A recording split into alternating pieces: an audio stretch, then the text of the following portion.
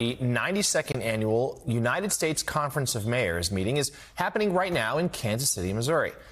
The bipartisan group of mayors from over 200 cities across the country are meeting to discuss a range of issues, including homelessness, gun violence, and how to navigate the 2024 election.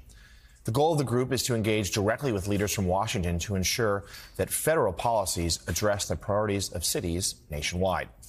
Joining us now the mayor of Kansas City, Missouri, Democrat Quinton Lucas, and the mayor of Oklahoma City, Republican David Holt. He is the second vice president for the U.S. Conference of Mayors. Mayor Holt, let's start with you. Uh, it is a notably bipartisan movement here at a time when that is pretty rare in this nation's politics. Talk to us about why that's so important and a few of the most pressing issues cities across this country face. Well, first of all, thank you for having us on. And uh, I'm speaking to you from Kansas City with my colleague here, Mayor Lucas, and he's a Democrat and I'm a Republican. And as you say, that is pretty unique, but we mayors think of ourselves as being pretty unique. Um, we work together. We have a, uh, you know, an unbreakable bipartisan bond. We fight for cities. And, you know, the issues that we care about right now are, are homelessness, uh, gun violence, mental health, infrastructure. I mean, it's it's economy and education. It's the basic things. It's the issue matrix that we think all Americans should be passionate about, and all state and federal candidates this election year should be passionate about.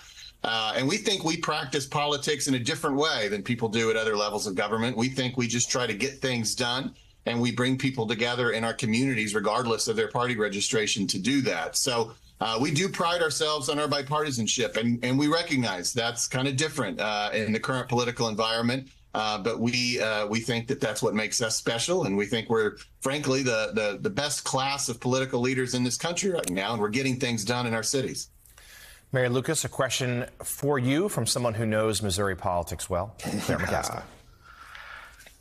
Hey, good morning, Quinton. Um, let, let me, um, it, rather than talk about our world champion Chiefs or how well the Royals are doing, I want to focus on something that may blow up a little bit of the bipartisan nature of this appearance, and that is the hypocrisy that you see across the country in red states where state legislatures who t- like to say that local is best and local government should control their own destinies I know you've battled with the Missouri legislature that wants to mm-hmm. come in over your shoulder and tell you what you can and cannot do in Kansas City.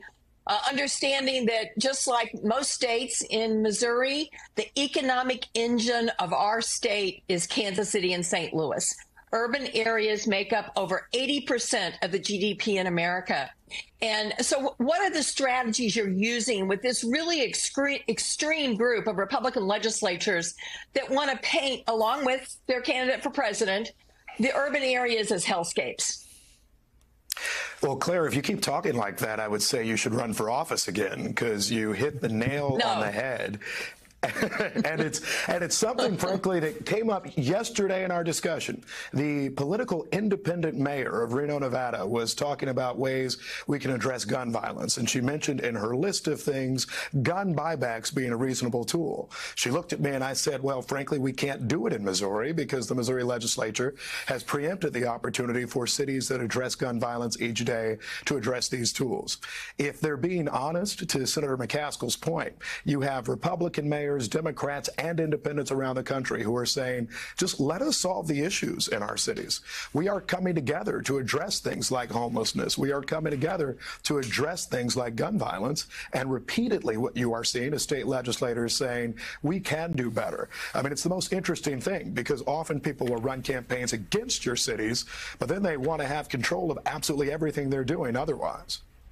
I'm going to go to Mayor Holt with a question, but first I want to say, Mayor Lucas, we're bearing the lead a little bit because you have huge news on your Twitter. You have a new baby to welcome, so congratulations to you and your wife and your family. And Mayor Holt, I just wanted to ask you, what has been really the top issue and solutions, frankly, that have been proposed when it comes to the homelessness and housing crisis that so many cities around the country are grappling with this year?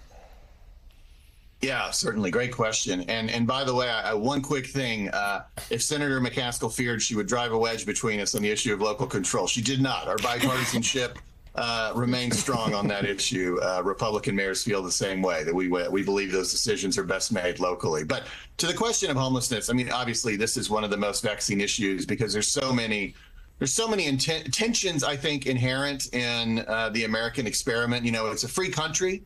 And I always say, like, I'm a law school dean. Uh, Mayor Lucas is a law school professor. You know, I, we understand that that actually has some serious legal underpinnings. And it means that you got to really have a lot of options and kind of meet people where they are.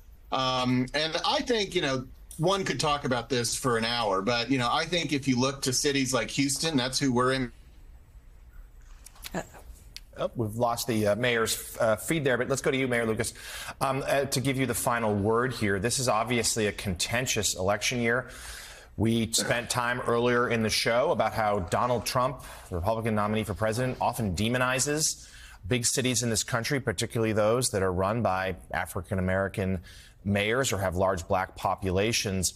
What can be done right now to just sort of to, to combat that rhetoric um, with you know doing it with statistics or the rest? How do you sort of change the image that some Americans have unfairly of our nation's big cities? I think you have to push back and you have to answer. Yesterday, I spent time with the mayor of, of uh, Milwaukee, Wisconsin, a black mayor, a Democrat, who said, I'm from Milwaukee and I'm proud, pushing back against President Trump, who will be in Milwaukee in just several weeks. In your earlier conversation, you talked about some of the craziness and how that is baked into the Trump era and everything that is Donald Trump. I think it's important and vital for cities and particularly mayors to say, no, we are not dumpster fires. We are exceptional places. We are places that can attract World Cups like my city or conferences of mayors or the Republican National Convention like Milwaukee. And so I think when you are talking about cities like Milwaukee, Detroit, Grand Rapids, so many others, particularly in swing states, but all of them, we say we are coming up with solutions to America's real problems, vastly more than you're seeing from state legislatures. And I'll say with respect, vastly more perhaps than the ravings at times of our former president. Uh, Mayor Holt, we have your shot back. Just want to give you a chance to, to finish your thought there. Sure. I don't know if I lodge my complaints about the hotel Wi-Fi with Mayor Lucas or someone else, but we'll work on that locally.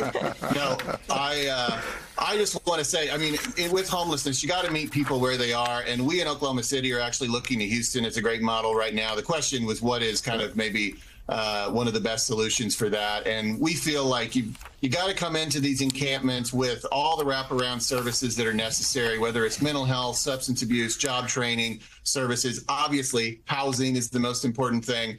Um, that's very expensive, though. I mean, really solving the problem is expensive, and um, but that's what people want. And I find that that's where you have common ground on the left and the right on the issue of homelessness. Is that everybody wants these people off the streets um, and you got to dedicate some resources to it. And you also obviously also have to work on the overall issue of affordable housing in your community. It's a it's a very complex issue, and it's not easy. If it were easy, it would have been solved already. But certainly, mayors are at the tip of the spear, and we're at places like this sharing those best practices with each other.